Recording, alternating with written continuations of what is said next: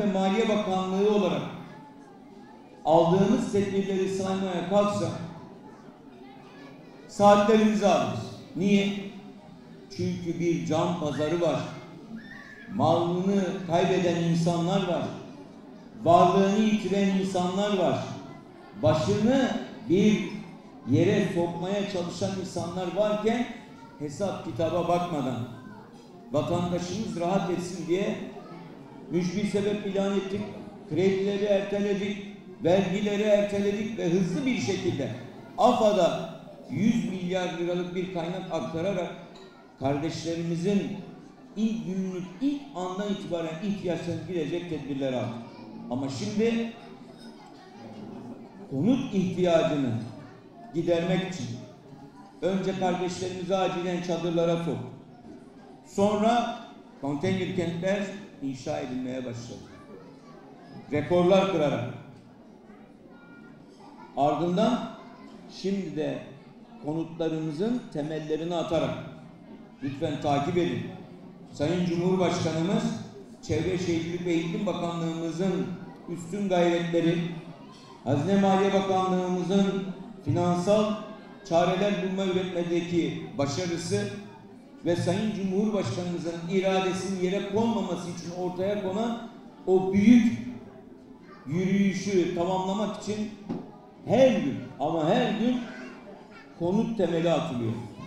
Ve bu konutlar altyapılarıyla, yanlarındaki hastaneler, okullarıyla, camileriyle inşa edilecek şekilde planlanıyor. Doğru bir yerde, doğru bir zeminde bu binaların inşa edilmesi için adımlar atılıyor. Ve Sayın Cumhurbaşkanımız sözünde duran bir er. Diyor ki temelini attığımız inşaatları konutları inşallah bir yıl içerisinde teslim edeceğiz. Biz bu konutları depremde zarar gören bütün kardeşlerimize teslim edeceğiz. Ama giden canlar elbette geri gelmez. İşte biz de en azından yaşadıkları evlerin konforunu, güvenliğini sağlayacak adımlar atıyor.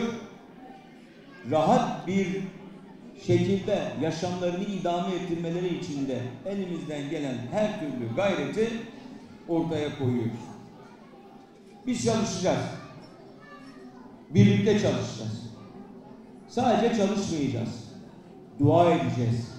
Bu depremin ağır faturalarının tekrar ödenmemesi için çok önemli bir paket açıkladık biliyorsunuz. Bir tanesi kentsel dönüşümün sağlam bir şekilde yapılabilmesi için, hızlı bir şekilde yapılabilmesi için ev sahipleri olup da kentsel dönüşüme tabi tutulan kardeşlerimize diyoruz ki size çok cüzi faiz oranlarıyla ama uzun vadeli ve iki yıl ödemesiz de olmak üzere bir kredi tahsis ettik. Bunu alın ve her bir daire içinde 1 milyon 250 bin liralık bir limit tahsis ettik. Yani 100 metrekarelik bir dairenin neredeyse maliyetinin tamamını karşılayacak bir kredi paketi oluşturduk.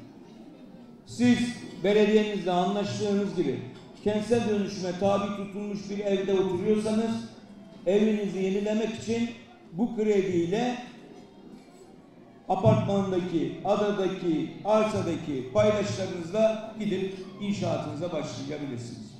Bir müteahhite verelim. Yetmez. Paketin ikinci ayağı müteahhitlere diyoruz ki 250 milyon liraya kadar size çok cüzi miktarlarla ve her iki aşamada da 840 bas puana kadar yani büyük bir oranını Hazine Maliye Bakanlığı'nın karşılayacağı imkanlarla gelin kentsel dönüşümdeki binaları yeniden inşa edin. Size de kredi veriyoruz. Ve üçüncüsü biz artık rezerv alanlarının oluşturulmuş yerlerde binaların yapılması noktasında yap işlet devret modeliyle en az 50 bin konutluk bir alanda konut üretimini gerçekleştirip buraları sadece kiraya vermek üzere bir sistem geliştirdik. İnşallah bununla da İstanbul başta olmak üzere bütün illerimizdeki ihtiyacı bu şekilde gidermiş olacağız. Şimdi çağrımız şu.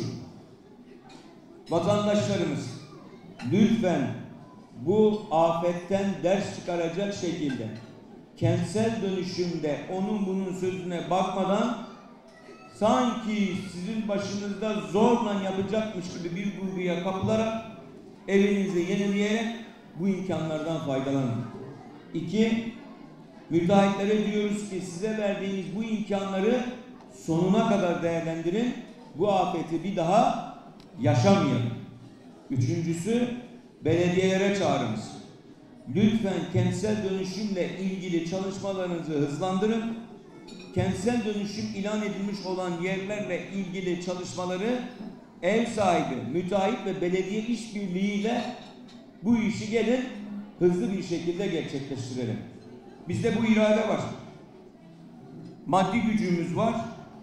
Belediyeler, ev sahipleri ve müteahhitler bu işte el birliği yaparlarsa emin olun çok kısa bir süre içerisinde kentsel dönüşümü başta İstanbul olmak üzere tüm illerimize gerçekleştirmiş oluruz. Ha bizde şu yok. Kentsel dönüşüme karşı diyenler. Gelin şu depremzedeleri görün.